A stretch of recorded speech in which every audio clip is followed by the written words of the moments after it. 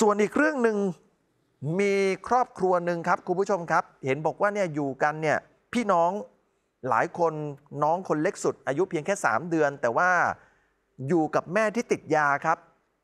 แม่เนี่ยปล่อยให้พี่น้องเนี่ยดูแลกันเองนะครับ แล้วเด็กที่อายุน้อยสุดในครอบครัวนี้วัย 3 เดือนเท่านั้นเอง หลายคนก็เลยเป็นห่วงนะครับ บอกว่าเอ๊ะครอบครัวนี้เนี่ยจะไปต่อกันยังไง เพราะว่าแม่ก็ติดยา ปล่อยให้ลูกๆเนี่ยดูแลกันเองนะครับ ล่าสุดเนี่ยร้องกับทางกันจอมพลัง แล้วก็มีการประสานทางเจ้าหน้าที่พมลงพื้นที่ช่วยเหลือ จากกรณีที่ชาวบ้านร้องเรียนบอกว่าเนี่ย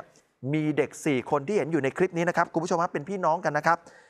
คืออยู่กับผู้เป็นแม่แต่แม่เนี่ยติดยาเสพติด ส่วนพ่อเนี่ยไม่อยู่ครับไปรับเหมางานอยู่ต่างจังหวัดทำให้เด็กเนี่ยต้องอยู่กันเลี้ยงดูกันเอง มีล่าสุดเนี่ยเห็นคนที่อยู่แถวนั้นบอกว่ามีพี่เนี่ยทำน้องเนี่ยตกจาก โต๊ะม้านั่งหินอ่อนก็มีนะครับ วันนี้ผู้สื่อข่าวของเราครับลงพื้นที่ไปตรวจสอบนะครับภายในห้องเช่าที่ซอยสุขสวัสดิ์2อยู่เขตจอมทองกรุงเทพ ซึ่งเช้าวันนี้มีหน่วยงานพอมแล้วก็เจ้าหน้าที่เนี่ยมาร่วมพูดคุยกับแม่เด็ก เพื่อให้การช่วยเหลือครอบครัวนี้ แล้วก็ดูสภาพความเป็นอยู่ภายในห้องเช่า ที่เด็กพักอาศัยอยู่กับแม่ บริเวณชั้น 5 เต็มไปด้วยขยะ ลักษณะก็คือไม่ถูกสุขลักษณะ ส่งกลิ่นเหม็นไปทั่วนะครับ จากการสอบถามแม่ของเด็กนางสาวฝ้ายอายุ 37 ปี บอกว่าเธอเนี่ยมีลูกรวม 6 คน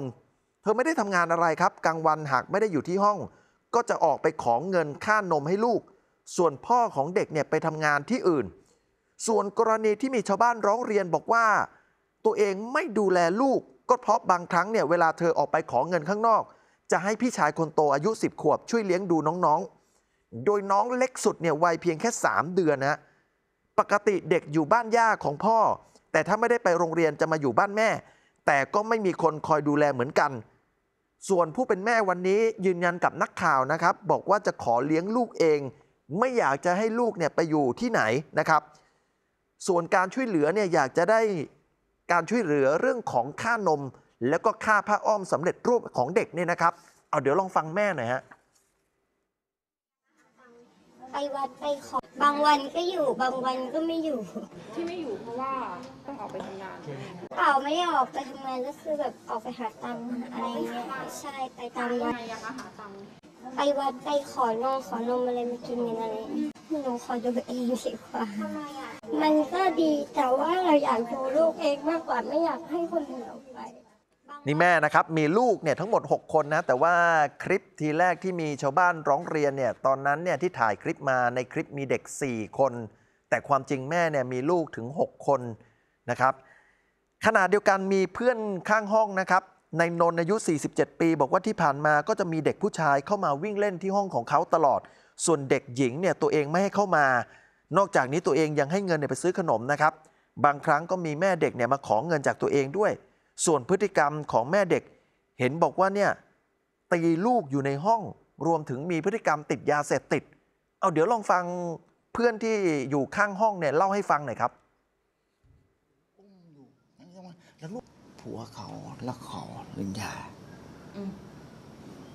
แล้วตีลูกมาเอาลูกไปทิ้งไว้ตรงบ่อตรงเนี้ยตรงเนี้ยตรงเนี้ยบางทีบางทีก็มาให้ผมถืออุ้มอยู่ นั่นก็ว่าแล้วลูกเขาพอเปิดประตูมาปุ๊บวิ่งเข้ามาแจ้นเลย เนี่ยผมถึงถึงล็อกไง เนี่ย เป็นแม่ตีระยะเวลาเท่าไหร่แล้วคะแม่ตี เป็นระยะเวลาทุกวัน ทุกวันโอ้ยทุกวันปีทุกวันทุกวันตุ๊บตุ๊บตุ๊บแม่ก็ไม่เอาลูก ดูคอดูอะไร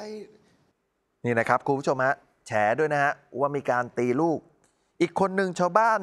ที่อยู่แถวนั้นนางตุ๊กอายุ 57 ปี บอกกับนักข่าวของเรานะครับ บอกว่าปกติทุกๆ เช้าเนี่ยช่วงเวลาประมาณ 7 โมงจะเห็นเด็กเดินไปขอข้าวที่วัดมากินออตอนนั้นเนี่ยยังเตือนเด็กเลยบอกว่าให้เดินระวังระวังหน่อย เพราะว่าบริเวณจุดที่เดินไปเนี่ยข้างๆ มันมีคลองอยู่ด้วย ก็กลัวว่าเด็กเนี่ยจะตกน้ำนะครับ ทีนี้เรื่องของแนวทางในการช่วยเหลือเด็ก ๆ ในครอบครัวนี้นะคุณผู้ชมฮะ ทางกระทรวงพัฒนาสังคมและความมั่นคงของมนุษย์ โดยรองอธิบดีกรมพัฒนาสังคม และสวัสดิการนายกิติอินทรกุลนำทีมเจ้าหน้าที่พมเข้าพื้นที่ ให้การช่วยเหลือเบื้องต้นบอกว่าจะนำเด็กและแม่เนี่ยไปพักอยู่ที่บ้านพักเด็กและครอบครัวกรุงเทพมหานคร เพื่อดูแลเรื่องของสุขอนามัยก่อนนะครับ แล้วเดี๋ยวจะมีการพูดคุย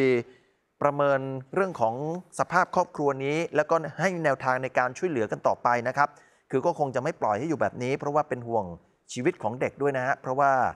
มีข้อมูลบอกแม่เนี่ยก็ติดยาด้วย คงจะไม่อยู่ในสภาพที่พร้อมจะเลี้ยงดูเด็กได้ถึง 6 ชีวิตนะครับคนโตเนี่ยอายุ 10 ขวบ คนเล็กสุดอายุเพียงแค่ 3 เดือนเท่านั้นเองนี่นะครับ